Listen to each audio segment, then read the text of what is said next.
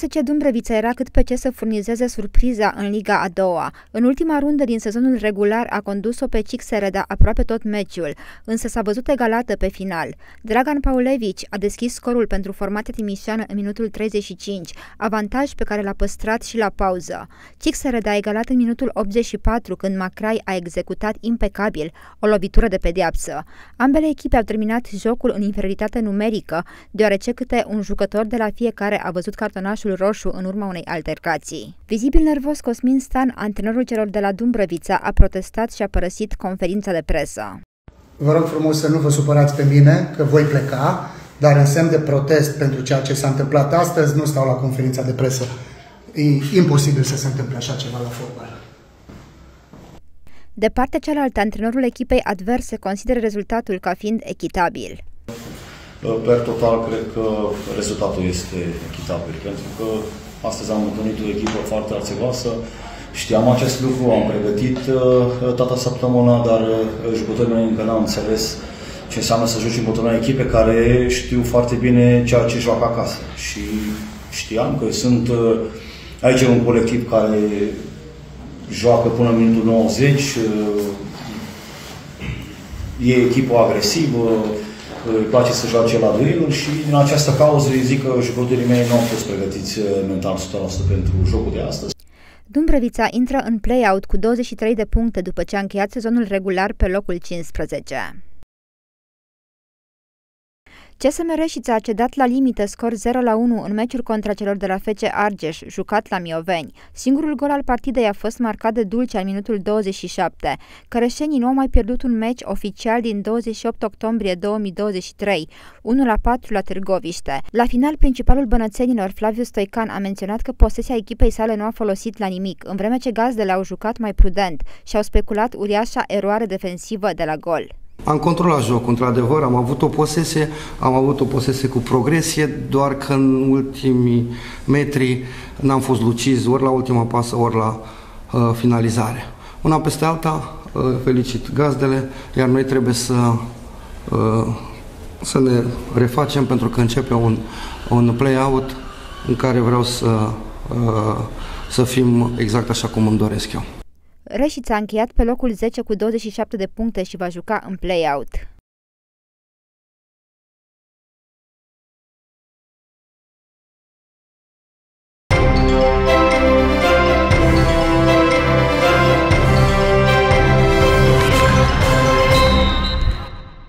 Poliț Timișoara a obținut o victorie chinuită, scor 1-0 contra celor de la Progresul Pecica, în deplasare.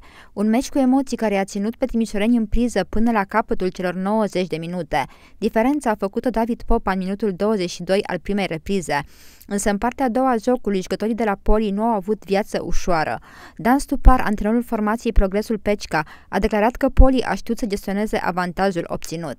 Am avut un, meci, un început de meci mai ezitant, am primit acel gol, după care sigur că adversarii au știut să gestioneze acel minim avantaj și chiar dacă, zic eu, că a doua repriză am dominat într-o oarecare măsură, nu am reușit să ne creăm ocazii mari de a înscrie și, din păcate, deznodământul este în dezavantajul nostru. Paul Codrea consideră că echipa sa a jucat pragmatic, a deschis scorul și apoi s-a concentrat să păstreze avantajul. Noi am reușit să înscriem și după aia ne-am, ne-am apărat, zic eu, compact, destul de bine, n-am, n-au avut multe ocazii, doar din faze fixe și pe final un pic au pus presiune. Chiar dacă au dominat ter- teritorial, nu pot că au dominat... Cel, mai ales în repriza a doua. Da, repriza a doua, dar era și făcea parte și din planul nostru tactic, pentru că dădusem gol și atunci era clar că încercam să-i prindă pe contraatac. După acest succes, echipa timișoreană urcă pe poziția a doua a clasamentului, unde o înlocuiește pe formația din Peciu Nou. Cele două echipe se vor întâlni în meci direct sâmbătă viitoare de la ora 15.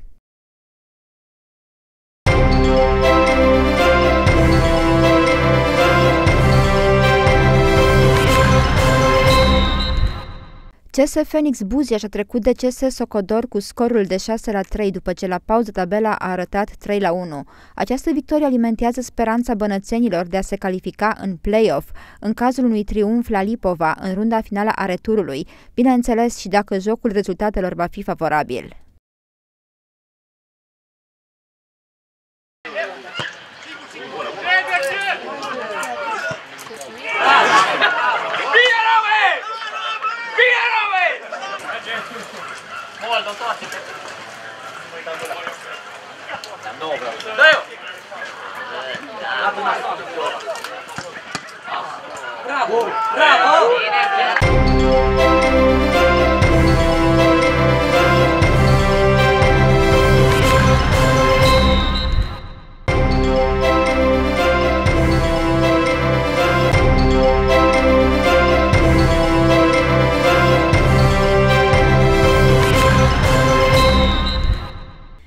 Spectacol total la Arad. UTA o învinge pe fece voluntari într-un meci în care s-au marcat numai puțin de șapte goluri. Victoria UTEI a fost una norocoasă, cu scorul de 4 la 3, golul izbăvitor al arădenilor venind cu puțin înainte de finalul meciului.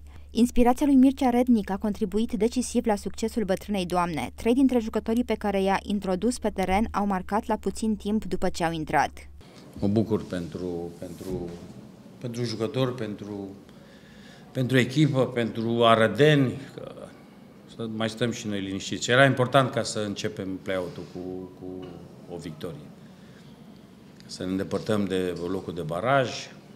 Mă bucur că jucătorii care au intrat uh, s-au comportat foarte bine. Chiar ne-a spus uh, la ședința de astăzi că e o perioadă în care sunt obligat să le ofer șansă la toți, vor fi uh, titulari, rezerve, titulari, când am nevoie să răspundă prezență, au făcut-o astăzi uh, și uh, mă bucur că toată lumea a reacționat bine, inclusiv uh, tribuna și suporterii și le mulțumesc, chiar dacă au fost momente când au mai comentat, au mai și uiduit un pic, dar asta e fotbal. Inspirația Puriului a fost recunoscută și de antrenorul echipei oaspete. Cred că am, am arătat și am avut forță să, să, să înscriem goluri, am avut situații clare de a marca, uh, dar așa cum am spus la început, UTA este, este o echipă puternică, este o echipă care are jucători care pot face diferența și în seara asta au, au avut forță. Schimbările pe care le-a făcut uh, Nea Mircea au, uh, au venit cu plus și uitați că istoria acestui joc se scrie, se scrie așa. Victoria consemnează un început cu dreptul în play-out pentru UTA cu un gol marcat la ultima fază a meciului.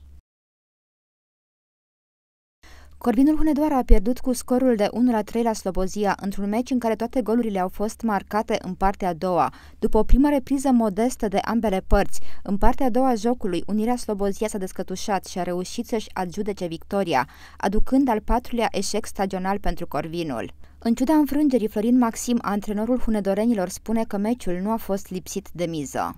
Uh, miză pentru noi are fiecare meci în parte. Dacă ne-ați urmărit, uh, ne-ați urmărit evoluțiile și în uh, meciurile amicale, vrem să câștigăm sau să ne luptăm pentru a câștiga meciul sau să, să terminăm la egalitate. Astăzi atâta s-a putut. Miză, repet, au toate meciurile pentru, pentru noi de acum încolo și cel de astăzi au avut miză.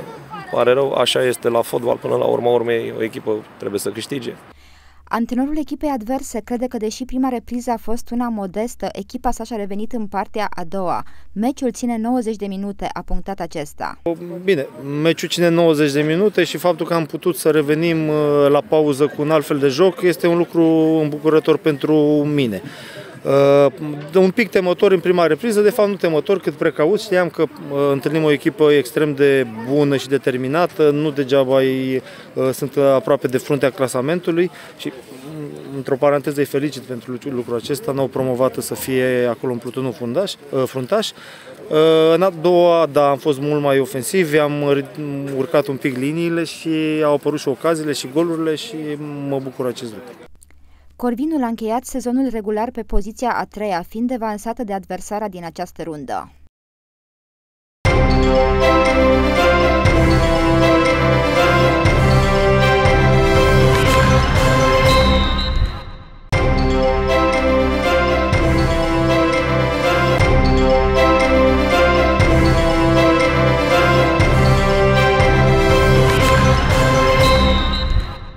Universitatea Cluj s-a dovedit a fi o nucă prea tare pentru Poli Timișoara. În a doua rundă a play-off-ului elitei, clujencele au învins cu scorul de 1-0, iar Poli nu a mai putut reedita performanța de pe finalul sezonului regular, când a trecut de aceeași echipă cu 2-0.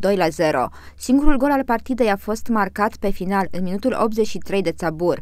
Rezultatul a consemnat al doilea eșec din acest sezon pentru timișorence.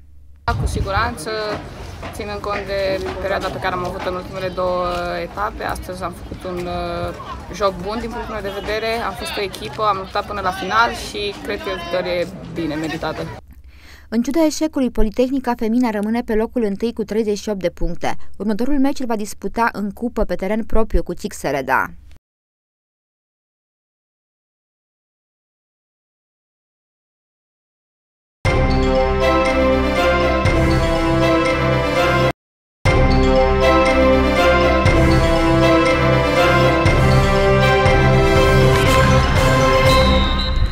Prima etapă a Cupei României la fotbal feminin, Politehnica Timișoara a suferit un eșec în fața celor de la Cixere Damier Curiaciuc cu scorul de 2 la 0.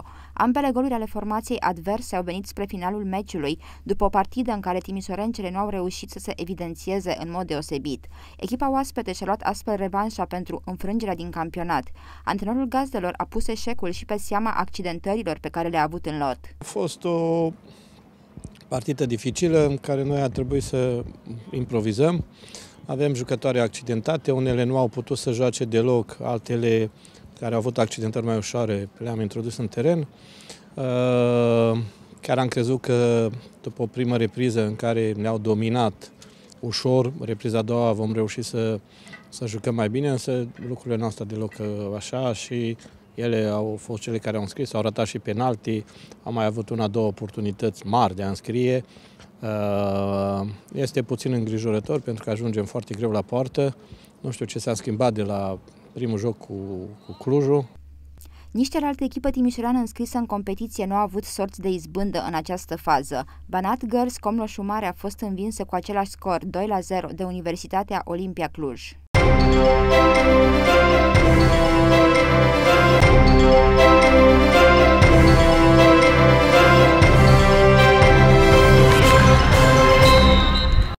Pe urmele tatălui, asta vrea Marcelo Freitas, junior care joacă deja pentru Piticii Utei. Cu toate că este brazilian, puștiul mijlocașului arădean îl preferă pe norvegianul Haaland de la Manchester City. Seu jogador preferido? Haaland! Haaland. Haaland. É porque a gente joga videogame em casa e ele gosta do Manchester City. E o Haaland sempre faz gol porque é um dos melhores jogadores do, do FIFA. Então ele está sempre fazendo gol com o Haaland e o Haaland se tornou o melhor jogador dele. Quer ser jogador? É, ele está na escolinha do UTA, ele vai sempre duas vezes na semana, de terça e quinta-feira, tem os seus treinamentos. Papai, ele também faz gol. É. A galera vai fazer um golaço.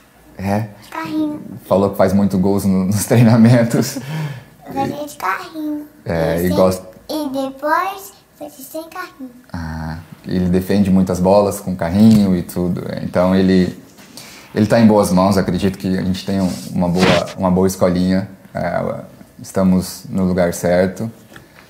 E ele vai escolher. Creio que ele vai escolher por ser jogador. E se for a escolha dele, eu vou apoiá-lo e tá sempre orgulhoso dele.